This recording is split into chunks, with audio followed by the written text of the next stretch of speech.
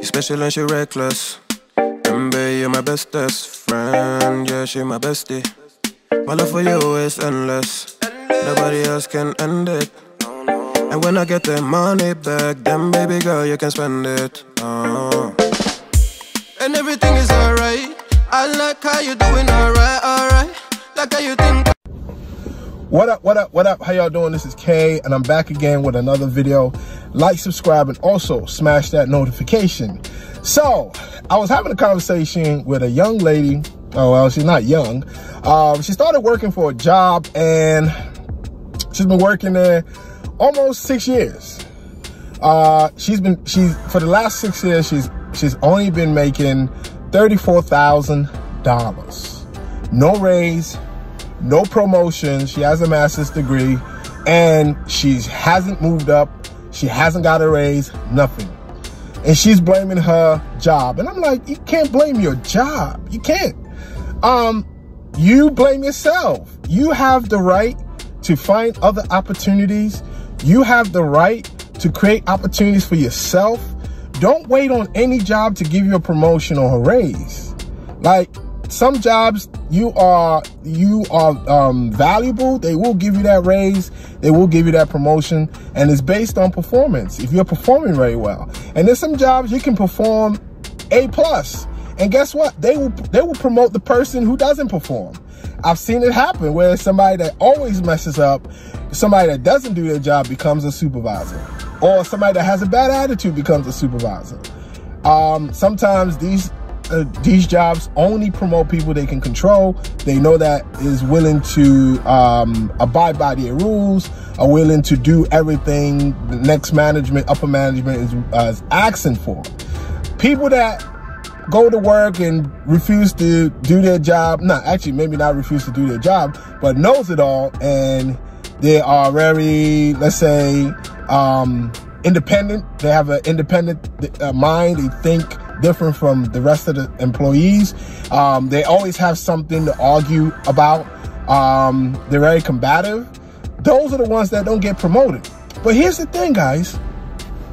For you people out there who are not being promoted or not haven't been given a raise, promote yourself, okay? Promote yourself. Start your own stuff, okay? If it might not be in the field that you currently uh the currently in. Like if you're if you're a social worker, there's no reason why you should go you shouldn't go out there and get your masters and become a licensed social worker and provide therapy if you are uh, working IT there's no reason why you shouldn't go out there and and and teach people IT and start your own training and consulting company or your own staffing agency or your own HR agency or your own uh, engineering agency consulting agency, whatever it may be. There's no re there's nothing that should stop you from going out there and start something of your own. I met a gentleman, um, I talked to a gentleman a few months ago. He works for the federal government. He's so talented. He's an engineer, makes six figures. He told me, he's like, I'm scared to start my business because um, uh, uh, conflict of interest. Um, because you know, you once you work when you work for the federal government, you have to get clearances and he's scared to start his business. Well, he quit his job and he started his business. After he had a conversation with me, I told him, look, um, you know, you have a, I'm not saying you should quit your job, um, but just, you know, take your time and, but just make sure you get that business started because he's so talented. He brings in a lot of contracts. Um, but right now he quit, started his own business and he has his first client you know? So guys don't wait for no job to promote you. You're not entitled to a job promotion seriously. And even if you are entitled to a job promotion what have you what is your your um let's say overall work portfolio? What have you done well? Have you have, is your job performance is it high is all your is your behavior. Is it is it is it great. You've had no no issues in the past year or two. Those are the things you have to look at. If you go to a job and you are acting like you know it all and and you're causing a lot of problems trust me you're not going to be promoted. You're not going to get that raise. That's how some jobs do it. But if you're that type of person that go to work and you're aggressive and you tell your boss how it is don't expect to get a promotion or a raise, go out there and start your own business. Have a free free mind. You know, me when I was working, I I tell people how it is. I didn't I didn't hold anything back. You know, but I still went out there and started my own consulting business and training business, and I've been doing that for the last four years. You know, even sometimes like um, I don't even have to do anything because I I put some of my trainings online on a, a teaching platform, and I'm I'm I, I, make money every month, so I don't have to worry about training uh, this month. But unfortunately, I do train at least once a week, you know. But you can put your trainings online and let that make money, you know. you make money while you're sleeping. Um, so don't don't beg no job for no promotion. If they're not going to promote you, you will not be promoted. Don't fight no job because of a promotion. I've seen people um, get promote. Um, I've seen people go to a job under a year. There was this young lady. She came to where I was working. Uh, she asked the supervisor, um, "I would love to be a supervisor one day," and they told her after a year, um, you can become a supervisor. Well, when that year came she went for the interview. They didn't give her the job. She got upset. The following day, when they gave somebody else the job, she quit. Then when you look into the um, into the history, her uh, work history for that year, she was never on time. She didn't do all her work. She was um, very disrespectful. And you want to be a supervisor? No, uh, people don't hide. People don't promote people who are going to give them problems on the top. They promote people they can control. Hey, hey, Kay, do this. Yes, ma'am. Yes, sir. Oh, make sure you you control your team. Make sure you write people up. Yes, ma'am. Yes, sir. They don't want somebody to come up there and say, you say, uh, write up your team. Nah, why should I write up my team? What did my team do? You know, I'm gonna show everybody, I'm gonna expose everybody up in here. I'm gonna dox everybody in here. No, it doesn't work that way. When you move up in corporate America, you have to go by what they tell you to do. It doesn't matter, it doesn't matter which profession. It can, it, even the worst job out there, you can be out there with the worst job and they will still promote those that follow the rules and say yes to everything. They need yes people. They don't want people up there uh, um, causing problems. They don't. They don't promote people that cause problems. But if you're a problem, if you're if you're a person that causes problems, your best option is to go out there and start your own shit and see what happens when you have somebody on your team that's working for you cause problems and see how you react to that situation. So people, don't stand on the sideline. Don't worry about job promotions or, or a pay raise. If you're gonna get one, you will get one. But if you're not getting one and you still have the same pay for the last five years, six years, you should blame yourself, not your job. Because look, I'm not to wait for anybody to give me a raise or job promotion. I never did. It's either I have side hustles or a side job. When I was working for the state, I had a, a residential job I was going on the weekends. I was working Friday night, Saturday night, 11 a.m., 11 p.m. to 7 a.m. Then I left that. I was driving Uber on the weekends. Then eventually I began to figure it out. Like, you know what? This is not going anywhere. I need to start my own stuff. I started my own training and consulting company and in 2017 and boom i never stopped never looked back. From there i began to grow my business. I began to apply for government contracts. I began to do consulting on the side. I began to do business consulting.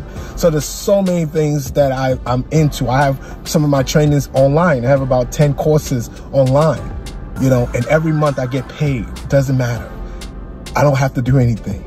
And now i'm in the process of creating more trainings. I have sexual harassment. I have uh, so many types of trainings in my field that I'm putting up on that website. So don't sit on the sideline and wait for anybody to give you a promotion. Promote yourself. Promote yourself. Yes. Promote yourself to CEO. Why not? Why not? Why not? Promote yourself. Don't wait for anybody to promote you. Don't wait for anybody to empower you. Empower yourself. All the resources and the information that you need is out there. SBA.gov to start a business. Your local jurisdiction have business centers. Your colleges have business centers. There's so much information on YouTube for free. You don't have to take no class to pay a thousand dollars, two hundred thousand, uh, two hundred. I mean, two thousand dollars to to get a course on how to become an entrepreneur. No, if I I have a I have a course that I teach people how to the eight step to start your business. It costs maybe a hundred bucks. If someone, if I'm going to charge you a thousand dollars to to become, if I'm going to charge you a thousand dollars for my course to become an entrepreneur, what startup money do you have to start the business? You know, most people don't even have $500 to even start a business. But if I charge you $100 for um, a business to uh, for um, to to take my class or to take uh, to to to get consulting, at least you have $900 to get that business rolling. You know, some people have it, some people don't. But a lot of folks, um, you know, they, they, they give up because they don't have the money to pay for a class. But there's a lot of free um, information online. There's a lot of free information on Eventbrite. There's a lot of free information on YouTube. There's a lot of free information on Google. There's a lot of free information on uh, Facebook that you can watch. And even Udemy, if you want to pay for Udemy, it's like maybe $5.99. Pay it, watch them, learn how to build a business in your field. You don't have to worry about a job giving you a promotion. You don't have to worry about a job uh, giving you a raise. A lot of people go to these jobs and they fight for to become a supervisor. They fight. Trust me, they only promote those they can control. And if you're a person that don't like to be controlled, trust me, you cannot get to management. I was in management and I love my position. I I manage about 60 to 70 people, but I quit because I know I couldn't control upper management. I had to leave when it comes to funding, when it comes to staffing, when it comes to other things. I had to leave my position. I left. Last, I left in January the 1st. I quit January the 1st. Funding um, for my team, because I had one jurisdiction for me. There was two assistant directors. I had one jurisdiction for me and I was unable to get funding. I was unable to get a staff staffing. I was able to get enough resources to run my team. And I'm not going to fight for something I don't own. I didn't argue with them. I will put in the request. They will say no. I'll keep it moving. Then when that time came and I said to myself, I put in a request, they refused. I said, you know what? This is it. I'm not going to fight. I'm not going to fight for something I don't own. You know, I don't own it. It's not my company. I can't take the credit card and take money out that company. I can't. They can fire me as an assistant director if they want to. They can fire me. They can demote me. They can. But I chose not to fight because I will not fight for something I do not own. But for my company, oh, hell yeah. I will fight all day. So I always encourage folks out there, you know, when you're at these jobs, you have to do what they say regardless of how you feel. I don't care if you work in an all-white place, all-white uh, company. If that's what they want, that's what they want. And if you feel like this, you feel racism, you quit. You turn in your two weeks and get the hell out. You don't need to raise, you don't need to uh, question, hey, this place is racist and blah, blah, blah, blah, blah. No, quit. Go start your own stuff. Empower yourself. But anyway, that's what I wanted to say today. Um, but continue to like and continue to subscribe. I mean, continue to like, continue to comment. Um, the more you like, the more you comment brings more uh, people to my, my channel. So I appreciate you. Have a wonderful holiday. And don't forget, empower yourself if you don't feel comfortable at a job and your pay, they're not adding to your pay, find a solution to it. There's a solution out there for you, for me, for everybody out there. All right, guys, have a wonderful day. Don't forget, um, if you need to start a business, go to sba.gov and it will show you step by step on how to start your business from step one to the to the last step. I also have a course eight steps to, to start your business.